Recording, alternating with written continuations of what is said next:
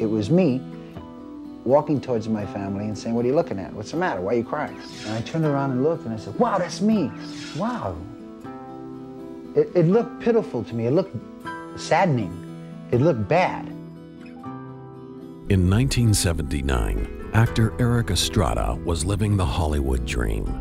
A dream that began shortly after he was cast in Chips, a television series about the adventures of the California Highway Patrol.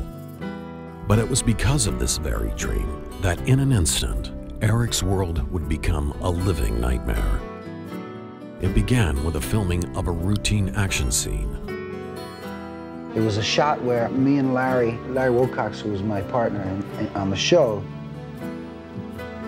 and we're running out of a building, we jump on the bikes, and we're chasing a car. But then something went terribly wrong. And instead of being seated on top of his motorcycle, Erik suddenly found the 1,000 pound vehicle on top of him. The first one to my side was Larry Wilcox. It was obviously pretty serious, but I didn't know. And um, having been in the Marine Corps and Vietnam and all that stuff, I was pretty used to that kind of situation. And he kept me from going into shock as he kept me in the present. And he was quite helpful because at that time, my lungs were punctured. And I had a big gash, but there was no blood coming out of my body. It was all internal bleeding, and it was filling up my lungs. So I had to, I had to really suck air on my own, and then the pain to boot. And then the ambulance came, and I rode with him in the ambulance to the hospital. And uh, then it got really serious. I'll never forget it. I, I could see in his eyes death and I've seen it, you know, I know what it looks like. There's a fear in their eyes that's beyond normal fear. It's almost like the spirit's leaving the body. Though the finality of death loomed over him, Erik's will to live kept him conscious while doctors raced to save his life. They lay me down on a slab. They start cutting the clothes away, the boots, uniform off me. I recall the priest coming in and giving him his last rites. They had anticipated that he had ruptured his aorta in his heart, so, you know, it could be in a matter of seconds. And um, they had to do either open heart surgery immediately or he would be dead. But then some miracle happened. He didn't have to have open heart surgery. But Erik's other conditions, including collapsed lungs, numerous broken ribs, and several unspecified internal injuries, required that he be transferred to a different hospital.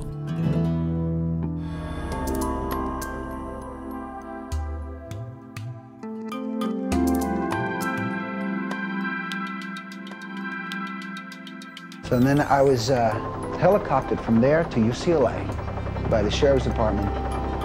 And it was in the intensive care unit at UCLA where I had an out-of-body experience. The term out-of-body experience has become quite popular. But it is not a new phenomenon. One of the earliest uses of the expression dates back to biblical times when the Apostle Paul wrote, And I knew such a man, whether in the body or out of the body, I cannot tell. God knoweth. The belief in a spirit or soul existing in the confines of our physical bodies is common in cultures throughout the world. But less common is the belief our being is in fact a conscious entity which is able to wholly separate itself from the physical body and venture out on its own. In Burma, the withdrawal of this life force is compared to that of a butterfly leaving a cocoon the Azande tribe in Africa believe that the separation of body and soul occurs every single night as one sleeps. It has been reported that the separation could be 2 inches, 2,000 miles, or more. But there are limits to what one spirit entity can do. It cannot be seen by those in the physical realm, I was lying in bed in intensive care. And there at the foot of my bed were four people that I knew. A friend of mine from New York, my dad, who was in a wheelchair. He's always been in, in, a, in a wheelchair. Uh, my mother, and a friend of the family who was dating my mother, and they was they were looking at me, but they had really sad faces on, and my mother was crying. So I I got out of the bed and walked towards them, and and I was maybe three four inches away, five inches away from them, and and they didn't see me. They just kept looking like looking through me. They were looking past me, and I turned around and I saw what they were looking at. Erik's spirit was no longer in his body. Shocked at the eerie sight, Erik knew that the only way he would ever leave the intensive care unit alive was by re-entering his physical self. I think what it did for me at the moment was I didn't like what I saw. I didn't like seeing myself like that. And I didn't want to be there. So I said, I'm getting out of here. And the next morning, I was taken out of intensive care. Reflecting back on the incident, Erik feels he had help in making the decision to return to his body. I think maybe I was grabbed by my guardian angel and, and was given a choice. If I wanted to stay, not get back in the body. But I choose to, to get out of there. Larry also feels that Erik's recovery was divinely achieved. I would have to say that it was a miracle and that uh, an intervening force uh, greater than human beings. And uh, in my lay opinion, that's God. Erik has never again had another out-of-body experience. But the one incident was enough to give him a new perspective on celestial beings and the afterlife.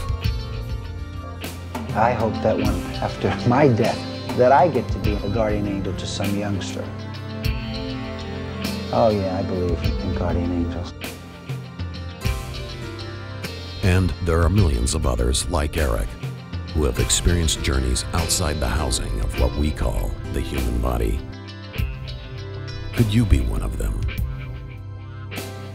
Is it possible, as the Azande tribe believe, that every night our nocturnal imaginings are in fact ethereal out-of-body adventures? It's something to sleep on.